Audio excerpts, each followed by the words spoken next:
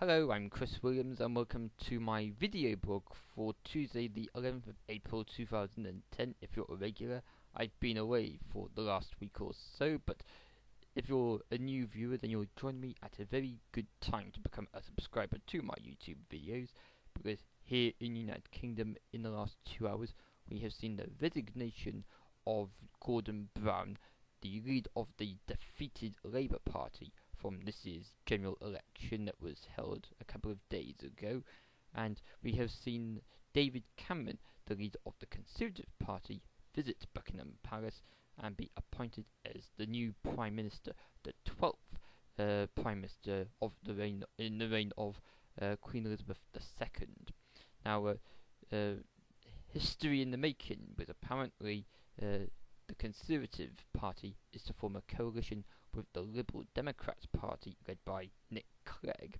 And uh, as I speak to, the uh, details have yet to be ironed out. Uh, we don't know as yet who will be in the cabinet, but uh, rumours are that the Conservative Party, being traditionally right wing, and the Liberal Democrats, being a centrist party, will apparently be made up of uh, the most right wing experienced politicians and the most prolific centrist politicians.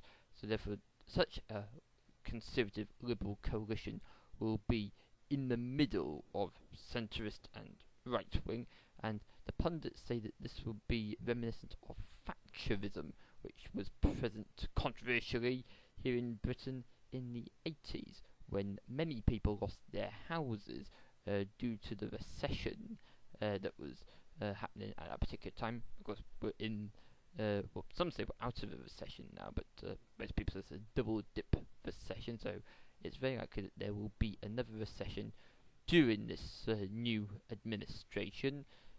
Uh, Mervyn King, the head of the Bank of England, said that whoever uh, is the government after the recent election would be a very pop unpopular government and would be out of power for a generation. Uh, well, um, uh, people dislike the Conservatives because of what happened in the 80s, and it is likely that due to the economic conditions, there will be a lot of there will be a lot more pain for members of the public here in Britain under this new Conservative government, but not because of the Conservatives being vindictive or anything, but because it is necessary for them to perform surgery on the economy to help us overcome the economic problems. It's ironic that yesterday I finished reading a book about the economics of Gordon Brown, and funny, as soon as I finished reading the book, he now finishes as Prime Minister.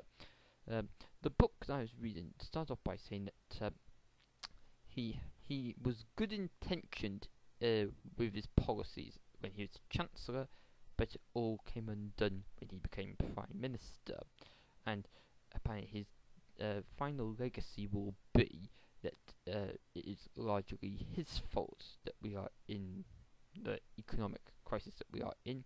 He tried to encourage the globalization of the economy. Uh, he tried to set up uh, a global uh, economy and he tried to sell that idea to Europe. But as you now know, that has now gone wrong in countries like Greece, Spain, Portugal, Italy, and Ireland.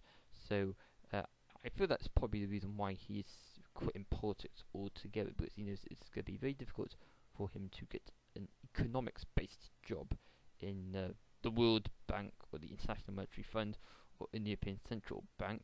His uh, economic policies have been somewhat discredited because of circumstances.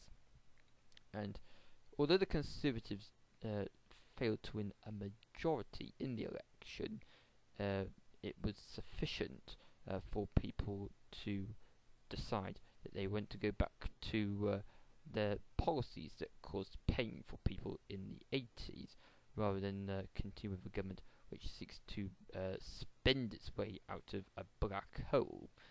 In my opinion, if you, you know, how can you spend your way out of a black hole if there's no money there to begin with? You're just going to run up a much bigger debt. So, uh, um, but all in this together, as David Cameron said uh, during his speech uh, outside uh, the door of number 10 Downing Street here in the United Kingdom. Uh, but uh, as the situation is currently developing as I speak, uh, we await further information on the definitive policies that the new administration will be putting forward. Apparently, the controversial 10 pence tax abolition. Uh, no, I'm getting a bit confused here. No, no, the, the, the inheritance tax policy that was controversial. That apparently is to fall by the wayside to satisfy the Liberal Democrats in the in this coalition. Apparently, so uh, uh, it's not going to be the Conservative Party as it was prevent, presented in its election manifesto, but rather a car crash between the generous liberal policies, which I think you might that the government might struggle to pay for, and it's also going to be a combination of the uh, strict uh, budget cutting policies that did feature in the Conservative manifesto, but probably not as strict as what they could have been if the Conservatives were given on their own. And as for Labour, well, uh, Harriet Harman, the deputy leader, is now acting leader with Gordon Brown quitting immediately as leader, but it's likely that David Miliband, a Blairite, uh, will assume the leadership. Uh, he'll be elected to it, obviously, and uh, that will resurrect the Labour Party. They're not too far away from the Conservative in in terms of the number of seats, so don't be surprised if, if the coalition falls apart. Then uh, Labour may be back sooner rather than later.